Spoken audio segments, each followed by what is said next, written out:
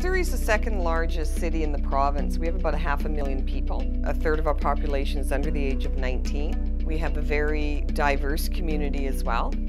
One of the things that our fire department is well known for, not only across the province, the country, but also internationally, is looking at different ways to be innovative, looking at different ways to ensure our community is safe.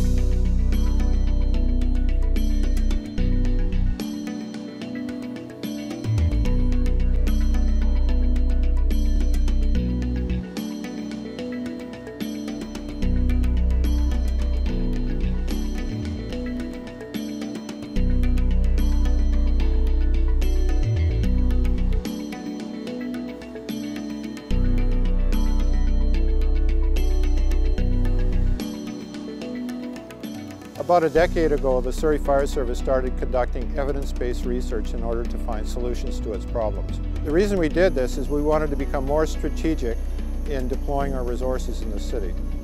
Through this research, we commissioned the University of the Fraser Valley to conduct a 20-year analysis of our fire problems in the city of Surrey.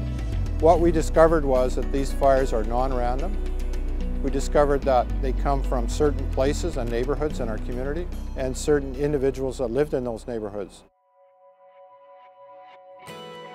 We want to have a vibrant city. We want to make sure that our residents are safe and that we're on the cutting edge of implementing programs and technology, innovation. So all of those pieces really tie into the Home Safe program. Once we identify what the trends were, we started looking abroad and in North America for best practices. What the best practices told us was that smoke alarm giveaways contained with fire education actually made a difference. So armed with this information, we developed a program called Home Safe. We started focusing on sending our crews door to door to deliver this information. Our Home Safe program targets these neighborhoods that are most at risk and to date we visited nearly 40,000 homes in the city of Surrey and we've got fantastic results from that. University of the Fraser Valley has been working with the Surrey Fire Service for several years now, conducting fire and public safety research. And this has produced the HomeSafe program, which involved an analysis by both faculty and students of uh, almost 5,000 fires in Surrey over a 20-year period. As a result, it gave the Surrey Fire Service, a big picture perspective on what was happening in Surrey and where they needed to direct their resources. It shows that if cities want to make good decisions, they can rely on university research by both students and faculty to give them answers to real-world problems and allow them to make decisions based on facts, not just assumptions. When the Surrey Firefighters Association was first approached about the Home Safe program, we saw it as a pretty unique approach to fire education. Typically, we set up a booth at a community fair and hand out brochures, but it's, it's unsure on how effective that really is. Whereas the Home Safe program, the crews went out in the district, they went door to door, they had that personal touch with the community on delivering the importance of fire safety and we really felt that, that really that connection was important on getting the people aware of, of the advantages of fire safety. As firefighters we see the uh, devastation caused by fires firsthand so for us to partner with the fire chief on a program that we knew could reduce fires and protect life and property in the city, it was important for us to be part of that. When our fire hall receives a list of home safe addresses, we'll suspend training for one week and go visit those selected areas.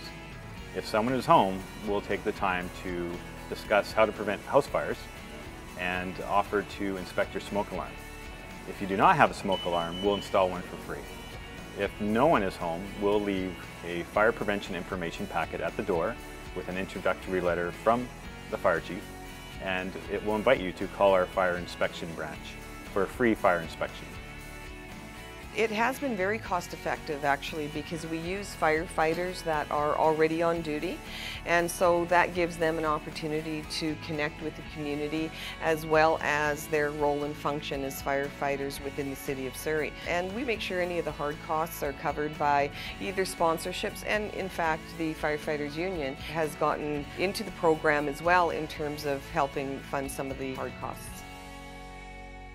The results have been significant because with the 40,000 homes that have been uh, visited, we've seen significant decrease in fires, uh, fire-related injuries, and death. And the data shows that decrease that has taken place because that's all monitored as part of the measurement of the program. Every year in Canada, we still have on average about 600 Canadians that die from fire-related injuries. We're so proud at the Royal College of Physicians and Surgeons to be partnering with the Surrey Fire Service. We now have a proven program that can make a difference in trying to eliminate the 600 preventable deaths that occur each year as a result of fire. So any fire department out there across the country that's serious about reducing death within their community would take a look at this program and just replicate it and put it in place to reduce this needless death that we see every year as a result of injury. I think the real value is multifaceted. When we look at the effectiveness of it, we look at the efficiency and cost aspect of it, but also that model can be replicated in any city, anywhere across the country.